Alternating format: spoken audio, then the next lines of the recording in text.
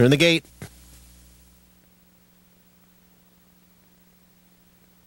And they're off. LL Flying Notes, Good to Be Me, Personal Worth Away Well, and Sully's Landing. It's Good to Be Me, the favorite, who's got the lead heading into the clubhouse turn. Right behind Sully's Landing and down at the rail, LL Flying Notes. Personal Worth on the outside is running in fourth. 101 is in fifth. It's a length and a half to uh, in sixth. Got to go round and Kami are heads apart, and La Festa Idomani is the trailer in ninth. The opening quarter mile in 24 and 1. Good to be me gets clear by two and a half lengths. Sully's landing giving chase in second. On the outside, personal worth. 101's in between horses. LL Flying Notes is down at the rail.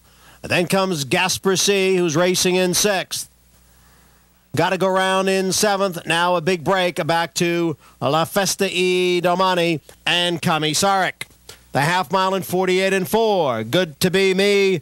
Still on the lead here. Good to be me. Now by three lengths midway on the turn. LL Flying Notes comes through on the inside to take second. Sully's Landing is third. Then 101 and Gasper C. Three quarters in 113 and 3. They head for home with Good to be me.